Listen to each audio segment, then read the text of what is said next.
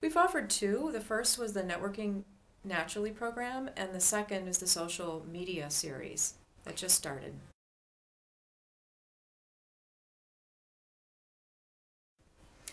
Our organization's main mission is to build and maintain a mutually beneficial relationship between our alumni and the, the university and among our alumni to each other. And the Networking Naturally program and the social media webinar series help us achieve that goal. They allow our alumni to meet with one another post graduation. They um, the programs give them knowledge that's helpful in managing their career, and this includes people in their early career stages, mid career, and later career.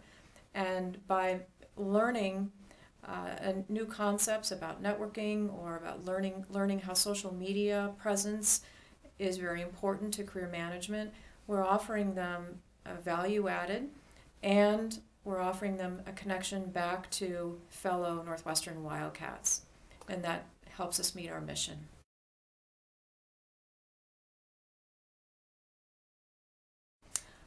I think Carol Ross, who's in, in charge of my alumni link, understands the path that people have walked and understands the, if I could say, the, the, the pain points uh, where alumni get stuck in managing their careers. So she can empathize and with people and meet them where they are. Uh, regardless of the program that she offers, I can tell you that she always starts and meets the audience exactly where they are.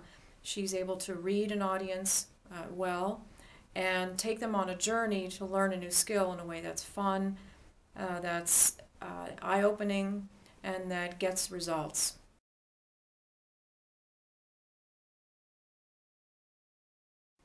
I would say that if they should audit a course, and I'm I'm 100% certain that uh, that they will want to try uh, an offering to their alumni, and they should read the feedback.